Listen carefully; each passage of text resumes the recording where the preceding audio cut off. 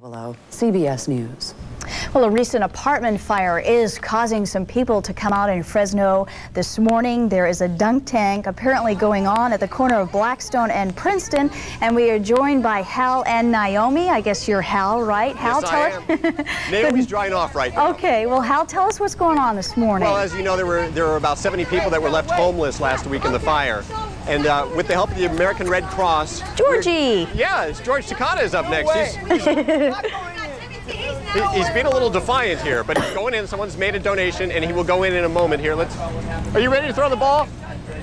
It's not that bad. Any kind of donation this morning. We're on the corner of Princeton and Blackstone. Bobby Salazar's. Come Uh, looks like we're moments away from George going in.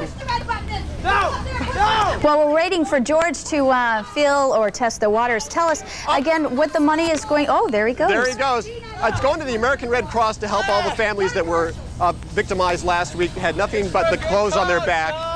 Uh, they need groceries, they need money, anything to help the American Red Cross this morning. So and make any kind of donation, like this young lady just did. She spent, I believe, four dollars to put George Takata in the dunk tank right there.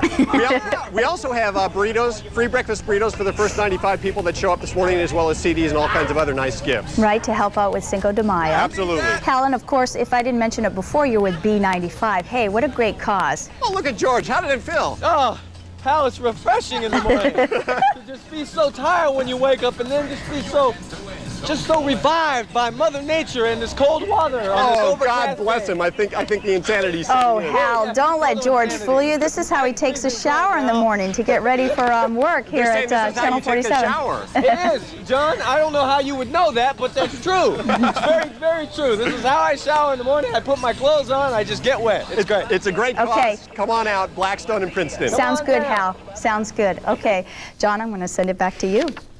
He, does he get any sleep? I don't think so. He just goes right around the clock. He does. Amazing too. George. Amazing George. That's a good name for him. Seven minutes past seven o'clock.